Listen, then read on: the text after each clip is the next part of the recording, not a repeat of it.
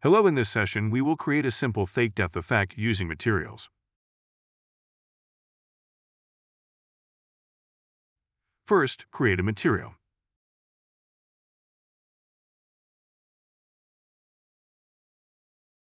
Create a texture sample node and set it to the desired texture, such as a logo texture.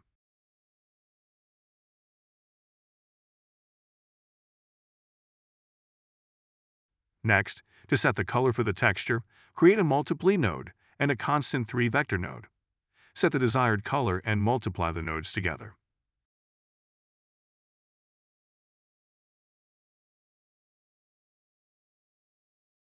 To add depth to the texture, create a bump offset node. Connect the texture's UV and depth by creating a TexCoord node and a parameter node and connecting them as shown in the video. Once you have connected all the nodes to the bump offset node, connect the node to the UV pin of the texture sample node to add depth to the texture. Preview the texture sample node, and you will see that the texture is tiled. To remove tiling and center the texture, set the sampler source in the texture sample node to clamp.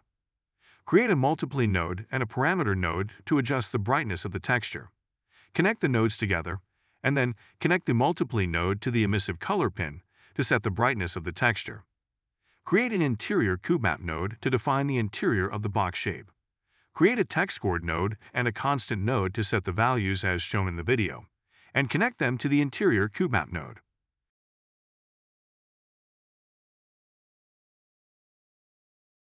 To extract each channel of the interior CubeMap node, create component mask nodes and set each channel. To mask the sides of the hole, extract the green and blue channels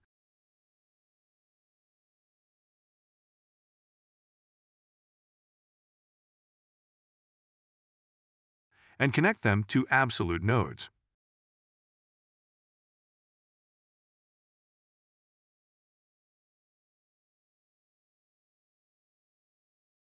Then, connect the two nodes to 1 minus nodes to cover both sides of the masking area. Add the two areas together using an Add node.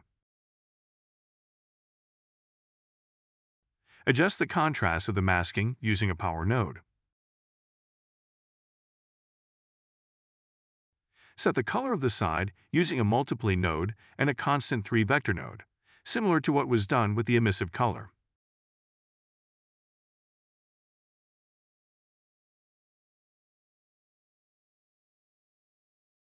To distinguish between the inside of the hole and the sides, create a lerp node and connect a component mask node with the red channel to the alpha pin. Set the side in the lerp node as shown in the video and adjust the values in the lerp node to make the inside darker.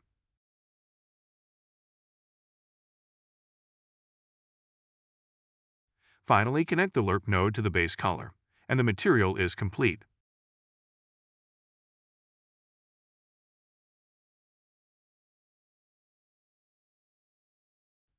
Go back to the level, drag and drop a plane mesh into the level using the Place Actor, and apply the material you created to see the effect.